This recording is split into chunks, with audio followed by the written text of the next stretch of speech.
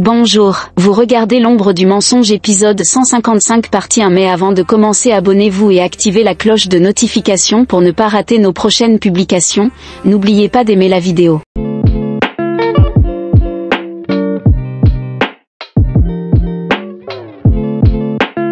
Aline, je savais bien que tu étais là pour m'espionner. Je l'ai toujours su Rebecca enlève lui son bellon nido. Rebecca, c'est un peu mal. Nido, c'est normal. Rebecca, de serrer le baillon s'il vous plaît, ça me fait mal. Aline, tu devrais y penser avant. Avant de me surveiller, tu aurais dû rester dans ta chambre. Là, tu serais bien au chaud dans ton lit. Qui t'a demandé de venir ici? C'est Paloma, non? C'était Paloma. Rebecca, elle est vraiment très inquiète pour la santé de son père. Aline, arrête ton baratin. Paloma n'a jamais vraiment eu confiance en moi. Elle est allée vérifier les comptes de son père, mais ça s'est très mal fini. Vraiment mal. Regarde-moi. César a à voir quelque chose avec tout ça. C'est César, non? Qui se posait des questions qui avaient des doutes. Il t'a demandé de venir m'espionner, c'est bien ça? Nido, le vieux devenu trop dangereux, Aline. Elle dit, Réponds-moi, c'est César? Rebecca, non. Aline, ta gueule. Nido, ferme ta gueule. Rebecca, pour lui, vous êtes la meilleure femme du monde.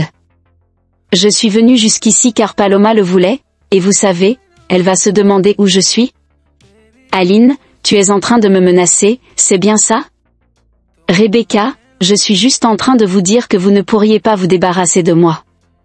Aline, je crois que je vais te mettre dans un grand sac poubelle et que je vais te jeter loin dans la rivière. S'il n'y a plus de corps qui prouvera qu'il y a eu un crime. Rebecca, ce ne sera pas facile, il y a beaucoup de gens qui savent que je, je suis ici. Nido, oui, ça c'est vraiment brunette. Aline, remets-lui son baillon et moi je vais réfléchir à ce qu'on va faire d'elle et son téléphone prend-lui son portable. Nido, ouvre la bouche. Aline, toi tu vas rester ici bien bâillonné, bien dégoûté, et tu ne pourras pas t'échapper non imbécile de Toubib. Et si tu tentes quelque chose, ça ira très mal pour toi. Nido, on a cette femme sur les bras et alors qu'est-ce qu'on va faire d'elle?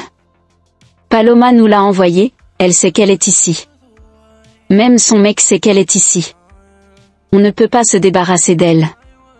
Tout ce qu'on va gagner c'est de se faire choper. À l'étape pas encore comprise, qu'est-ce qu'on va faire d'elle? Aline, je ne sais pas.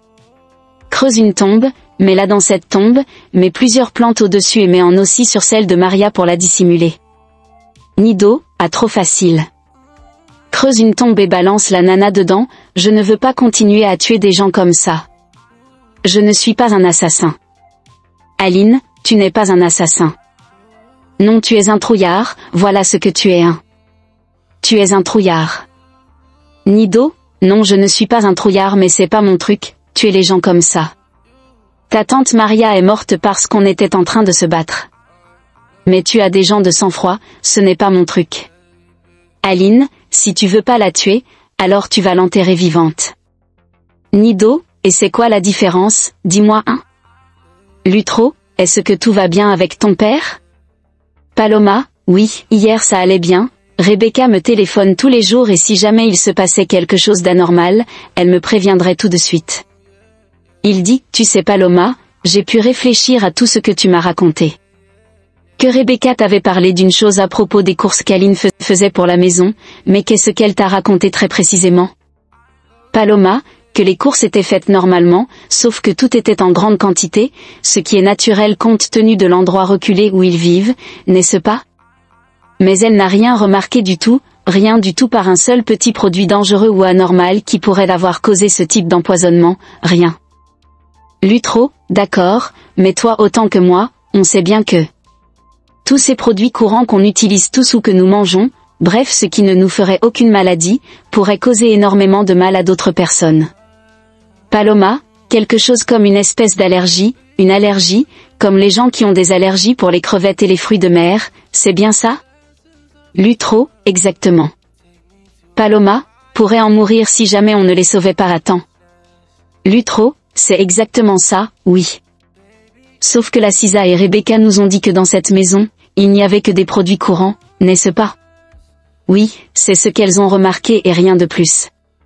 Mais, par contre, elles en ont vu en très grande quantité.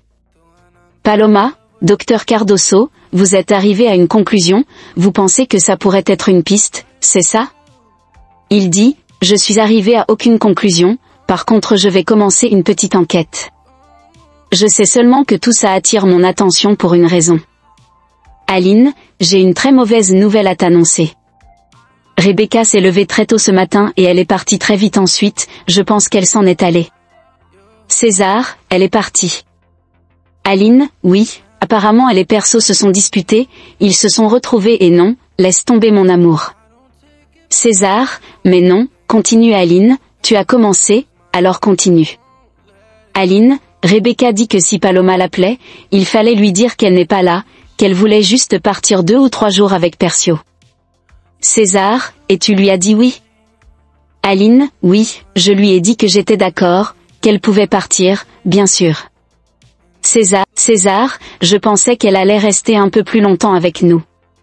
Aline, mon amour, c'est un médecin, pas une employée. Moi je pense qu'elle est restée assez longtemps. Mais à moi aussi, il va me manquer, c'est sûr.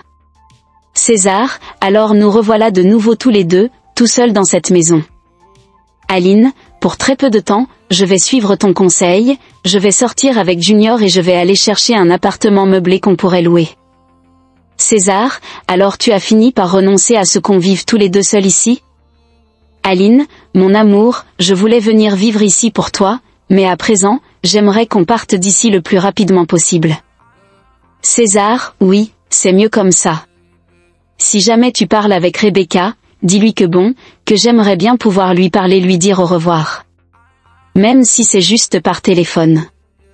Aline, ok, je lui dirai. César, qu'est-ce qui se passe? Aline, ah, c'est le vent il y a un de ces vents qui souffle dehors. Là, je vais aller fermer la fenêtre et je ne voudrais pas que tu attrapes froid. À mon ami à l'intérieur, il y a tellement de vent dehors. Ici, on a beaucoup plus chaud. Angélito, mon appart? Félix, maman toute puissante, a payé tous les bruits en retard. Je ne peux pas te laisser sortir de prison, il s'est retrouvé à tout s'en venir. C'est génial. Nico, je crois que j'en ai suffisamment vu. Eron, elle quitte, c'est une bonne chose que tu ne t'intéresses jamais à Félix, sinon tu te risquerais vraiment d'être déçu parce que non, mais sérieux, tu as vu Angelito? On dirait un mannequin. Nico, oui, je crois que Félix préfère ce genre de mec. Le pauvre, il ne prouvera jamais de vrais sentiments. Ah ramène-moi à la maison Eron. Je ne me sens vraiment pas bien du tout. Angelito, viens. Félix, non et je pense que maintenant il faut que j'aille prendre un bain, n'est-ce pas pour me détendre? Ah, j'ai tout vérifié. Tous tes vêtements sont dans l'armoire, tout est rangé, ok? Angélito, tu peux pas rester? Félix, Félix, tu sais ce qu'on va faire demain, tu viendras à la salle de sport et qui sait ce qui se passera là-bas? On pourra en discuter un peu. Jamito, papa, t'es sorti plus tôt est-ce que tu vas bien? Nico, oh mon chéri, oui, tout va bien, je suis juste un peu triste, ok? Tu peux continuer à jouer, moi je vais aller me reposer un peu. Félix, comment ça? Nico est déjà reparti chez lui? Edgar, monsieur est sorti avec monsieur Torgano et après il m'a appelé pour me dire qu'il ne reviendrait pas. Félix, avec monsieur Torgano? Edgar, ouais, c'est ça point monsieur. Félix, bien, je vous remercie. C'est bon à savoir comme ça, j'irai pas le voir chez lui, hein? Aline, alors, tu as faim? Je vais voir si je t'apporte quelque chose à manger, alors tiens-toi bien. Et j'aimerais te dire une petite chose, hier soir, je suis allée à l'hôpital. J'ai une amie qui travaille là-bas et qui peut avoir accès au dossier des employés. Et il se trouve qu'elle a réussi à se procurer l'adresse de tes parents, alors je m'y suis rendue juste pour vérifier. Et j'ai découvert que tu avais un petit frère, pas vrai? Ah, j'adore les enfants. Nido, c'est son portable qui est en train de sonner, Paloma. Aline, Paloma, tu vas prendre ton téléphone, tu vas lui dire que tout va très bien ici pour toi, mais si quelque chose sonne faux, si jamais tu essaies de t'enfuir vraiment, je ne sais pas ce qui pourrait arriver à ton frère. Paloma, Rebecca. Aline, calme-toi. Elle dit, Allô Paloma? Oui, Paloma. Tout se passe très bien ici. Paloma, tu en es sûre, Rebecca? Tu m'as l'air un petit peu bizarre? Rebecca, un peu bizarre? Non, j'ai. J'ai juste dû courir pour décrocher. Voilà tout. Paloma, ah, d'accord, très bien, si ce n'est que ça. Si tu as des nouvelles, appelle-moi. Elle dit, oui, je t'appellerai. Oui, bien sûr, oui, mais tout va bien. Paloma, je t'embrasse à bientôt. Paloma, ça va pas. Lutro, qu'est-ce qui ne va pas? Dis-moi ce qu'elle t'a dit. Paloma, je n'ai pas aimé, je n'ai pas aimé ce coup de fil, Rebecca était très bizarre. Elle parlait sur un ton bizarre c'était pas naturel. Lutro, est-ce qu'elle t'a dit quelque chose de particulier? Paloma, simplement qu'elle avait couru pour décrocher le téléphone. Ce qui expliquait cette voix, Docteur Cardoso, mon sixième sens me dit que quelque chose ne tourne pas rond. Lutro, oui, dans ce cas-là, le mieux ce serait qu'on se rend chez César pour voir s'il n'y a vraiment rien qui cloche, non? Paloma, comment à chaque fois qu'on va rendre visite à mon père, il est toujours en colère, prêt à se jeter sur nous? Et avec Félix, il est encore pire. La dernière fois, il a chassé à coups de canne. Lutro, je suis d'accord, mais il faut quand même qu'on aille là-bas. Écoute, je fais toujours confiance à mon sixième sens de médecin. Paloma, comment ça?